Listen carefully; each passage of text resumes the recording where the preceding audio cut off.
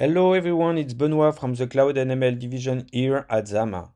In the division, we are building Concrete, which is our FHE compiler, and Concrete ML, which is our machine learning framework over encrypted data.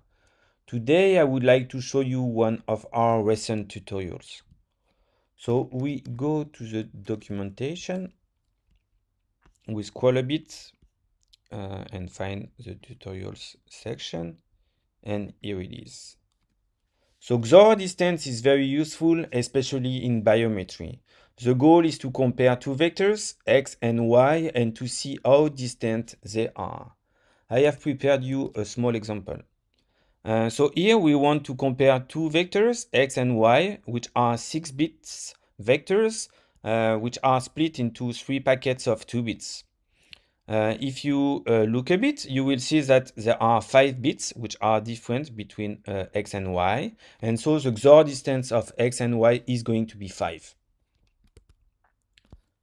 In practice, uh, this is the way it's computed, uh, the, the XOR distance. Uh, and then we are going to have different implementations of this, which we will execute over FHE. Um, we have a file here where we show um, uh, the different implementation and where we uh, are able to test them. I'm going to skip the first part. It's about the implementations. We are going to discuss that a bit later and just go to the test part. Uh, so here we are going to compile the function. Uh, we are going to say that x and y are encrypted and uh, we give an input set, which is the typical range of input data.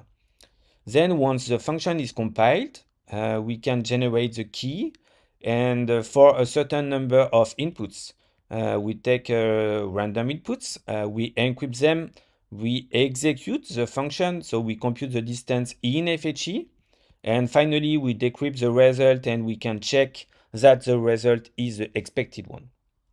Uh, so let's come back to the markdown file to see the different implementations. Uh, so the first implementation is just a copy of the reference function. Uh, the second implementation uh, use FHE bits. So here we are going to add x and y and then split this into bits and take uh, just the least significant bit, which is actually the XOR of x and y. The third implementation uh, use concatenation. So here we uh, concatenate x and y into z and we apply a table lookup over z. Table lookup is very useful um, and it's a unique operator which is available in TFHE, the crypto scheme that we use here at Zama. In the other FHE schemes, um, table lookup is not available. And finally, the fourth implementation use FHE multivariate. Uh, so here it's very simple. You will just say that you want to apply a function of two operators, so x and y, and this is the definition of the function that you want to apply.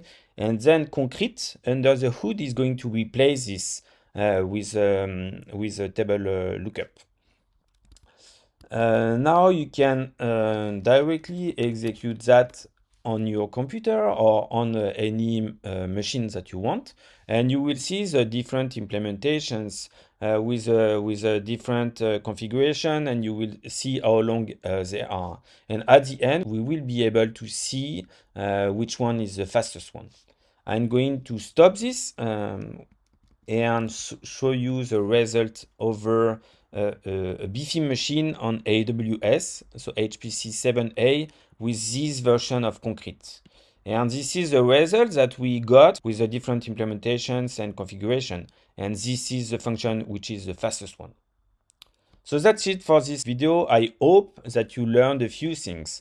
If you want to go further, we uh, at Zama are open source, so have a look to our repository and see how it works.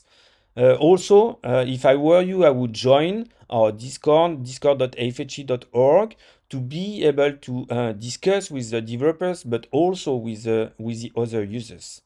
Thank you.